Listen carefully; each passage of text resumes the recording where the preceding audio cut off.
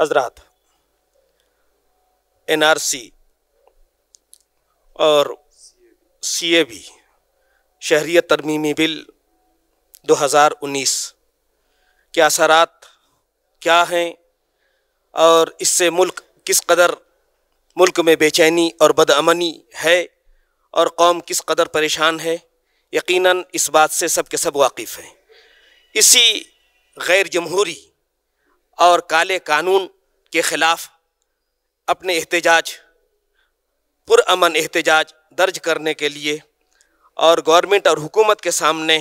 اپنے مطالبات رکھنے کے لیے بیلگام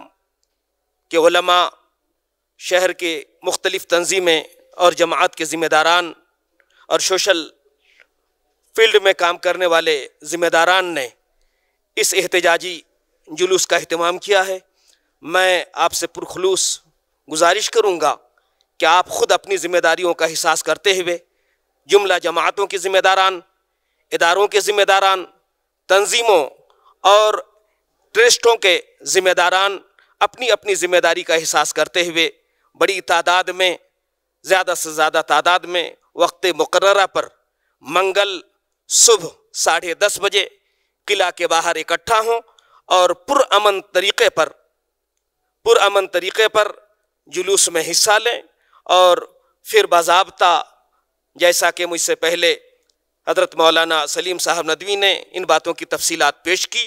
کہ پرامن طریقے پر ہمارا احتجاج ہوگا اور باضابطہ ڈی سی آفس تک پہنچ کر ہم اپنا مطالبہ اور میمورنڈم ڈی سی کے سامنے رکھیں گے۔ مجھے امید ہے آپ سے کہ بڑی تعداد میں آپ حضرات جوک در جوک اس اپنے بنیادی حقوق کی بازیابی کے لیے اور ہندوستان کی جمہوریت اور سیکولرزم کی